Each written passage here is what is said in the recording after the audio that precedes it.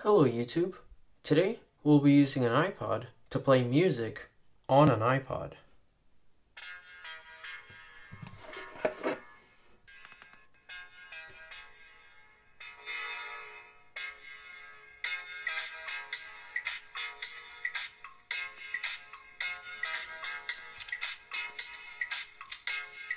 So how exactly does it work?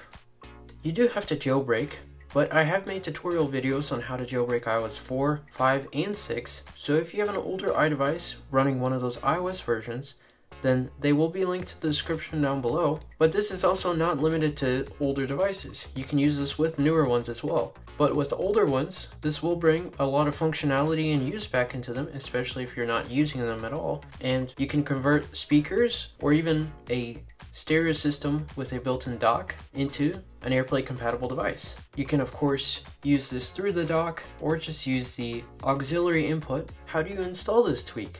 Well, once you've jailbroken and installed Cydia, you then have to go into sources, edit, add, and then once this prompt pops up, you need to install the source cydia.angelxwind.net. Now once you've installed it, you can click on it go into all packages, and it should be the first one. It's known as AirSpeaker, and this is the tweak that enables your device to become an AirPlay player. Now once you install the tweak, it'll be located in settings. Now you do have to scroll all the way to the bottom, but there's usually a separate section just for jailbreak tweaks, and it will be known as AirSpeaker. Now in here, you can enable options like enabling or disabling it, so that means it would appear or disappear from your AirPlay list.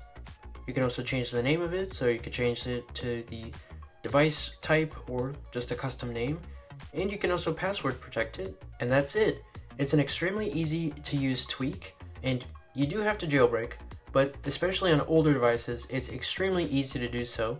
And again, those videos will be linked in the description down below. Once the tweak is installed, all you have to do is go to a different device's AirPlay menu, and it'll show up as AirSpeaker.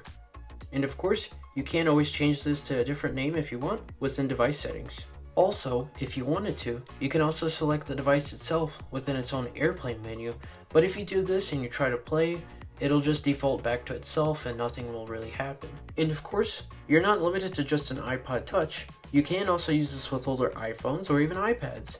So, if you have a older device just laying around, but you do tend to use AirPlay a lot, then this is a great way to bring a lot of functionality and use back into these older devices.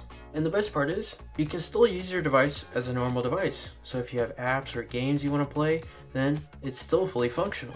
This also does bring a lot of functionality back into these lower capacity models, such as this iPod Touch, which only has 8 gigabytes, and in reality it's more like 6.5 due to the OS taking up that space. And if you were to install music, it would be more worthwhile to use an actual device with more built-in storage or an actual iPod and use these older iDevices as something like an AirPlay player for older apps and games, streaming services, or if you just want to mess around with Cydia, install tweaks that way. If you guys enjoyed this shorter video about a pretty cool Cydia tweak, then be sure to let me know in the comments down below. And if you guys want to, you can support the channel by subscribing. And thanks for watching.